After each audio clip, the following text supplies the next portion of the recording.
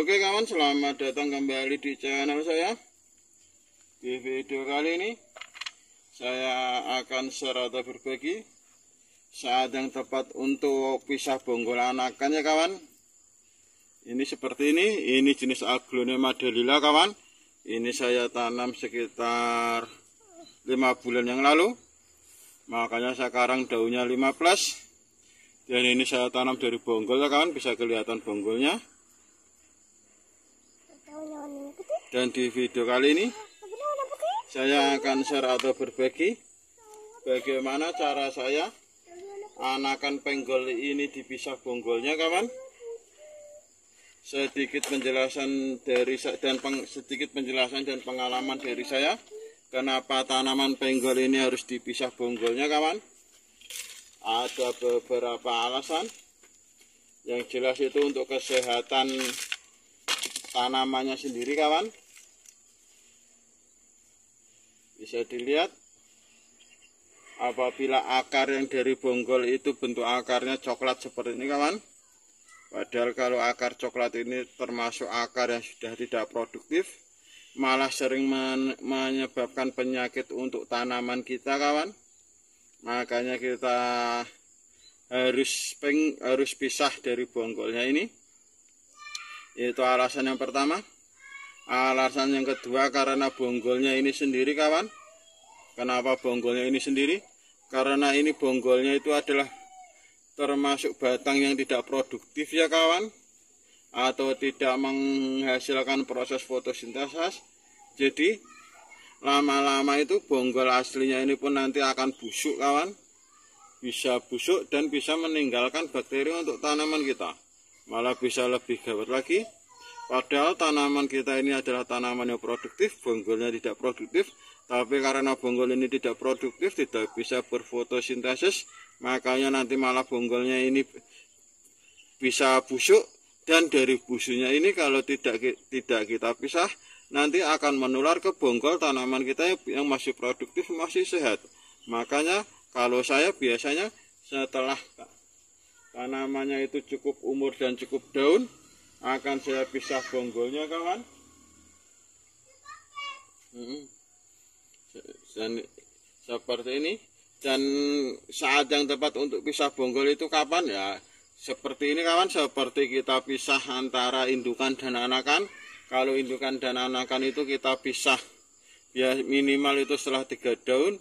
Karena dengan tiga daun itu anakan nanti akan bisa berfotosintesis dan bertahan sendiri seperti juga dengan dengan pel pel gol ini kawan minimal itu harus tiga daun baru kita pisah. Dan karena ini sudah 5 plus daun makanya sudah aman untuk kita pisah. Yang pertama itu yang kedua tanamannya sendiri ini ini sudah mempunyai akar produktif ya kawan. Akar apa itu akar produktif? Akar produktif adalah akar yang berwarna putih bersih seperti ini ini jadi kalau tanaman sudah mempunyai akar putih bersih seperti ini jadi bisa menyerap nutrisi sendiri. Dan bagaimana proses pisah bonggolnya kawan? Ya jelas yang pertama kita buangin akar-akar coklat dan tidak produktif ini dulu. Kenapa dibuangin? Karena akar ini apa menghalangi pandangan antara bonggol dan daunnya ya kawan.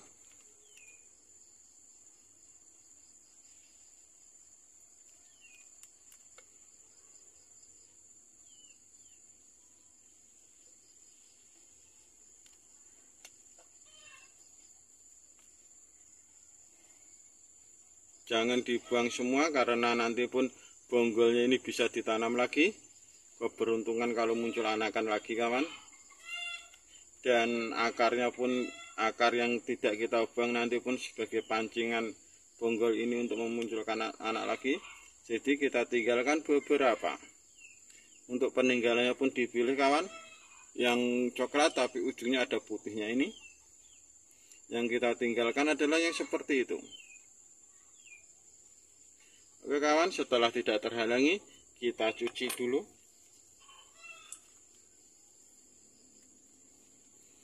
Setelah kita cuci, lalu kita potong. Pastikan bahwa akar putihnya ini jangan sampai ikut terpotong ya kawan supaya tanaman yang kita pisah ini bisa langsung mencari nutrisi sendiri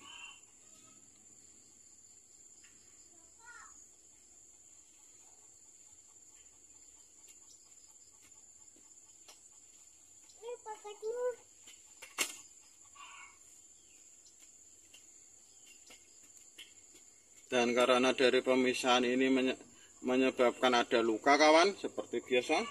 Kalau ada luka kita olesi dengan betadin dan diamkan kurang lebih secara 15 sampai 20 menitan.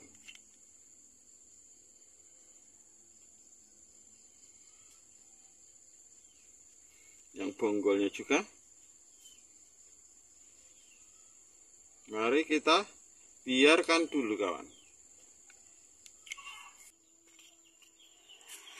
Dan oke kawan setelah 25 menit dan inilah penampakannya. Ada bulatan hitam di tengah-tengah. Batangnya kawan tandanya bahwa betadinya sudah meresap. Bisa dilihat. Sekarang kita ke proses penanamannya kawan. Untuk penanamannya kita kalau tadi pakai pot yang ini kalau kita pakai ini kasihan tanamannya kawan. Karena proporsi antara akar dan pot dan media tanam tidak sebanding. Karena untuk aglonema itu untuk pot yang dipakai itu tidak tergantung dari besarnya daun kawan tapi dari banyak sedikit dan panjang pendeknya pot. Jadi sekarang kita pakai pot yang lebih kecil dulu. Segini cukup kawan dan untuk medianya pun kita ganti media saja. Karena lebih fresh dan lebih banyak nutrisinya kawan daripada media lama yang kita pakai. Dan jangan lupa kawan sebelum kita tanam ini salah satu hal yang penting kawan.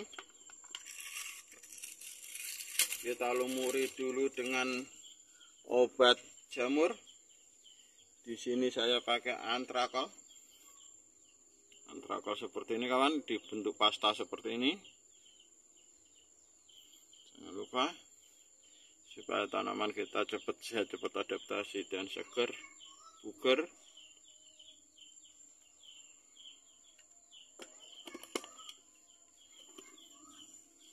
karena bentuk akarnya seperti ini kawan jadi kita sesuaikan med, apa medianya dengan bentuk akarnya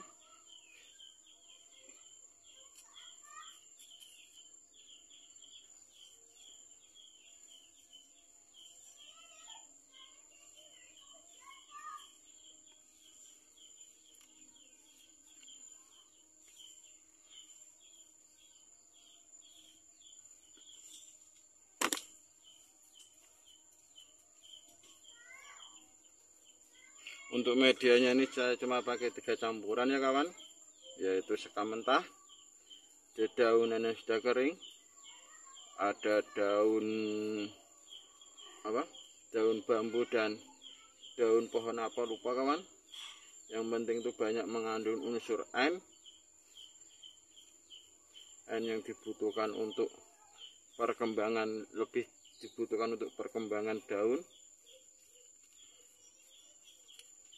sebagai pupuk dasarnya selain nanti pun ada perawatan semprot dan penyiramannya kawan jangan lupa di samping-samping ini kita padatkan supaya tanaman tidak gampang goyah dan akar tidak gampang patah. Setelah seperti ini lalu kita tanam bonggolnya jangan lupa. Siapa tahu kita dapat jackpot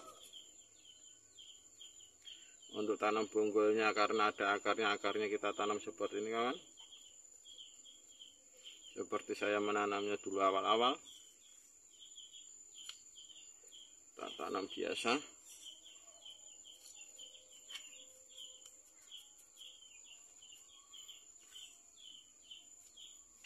Oke kawan demikianlah alasan dan cara saya kenapa tanaman pelgol nempel bonggol harus dipisahkan bonggolnya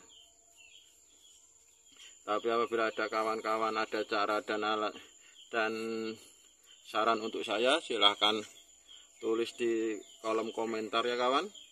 Mari kita belajar sama-sama bagaimana cara beternak aglonema supaya kandang kita tambah penuh tambah hijau tambah seger kawan. Dan terima kasih sudah menonton video saya. Semoga video ini bermanfaat dan barokah untuk kita semua. Wassalamualaikum warahmatullahi wabarakatuh. Bapak. Bapak. hmm.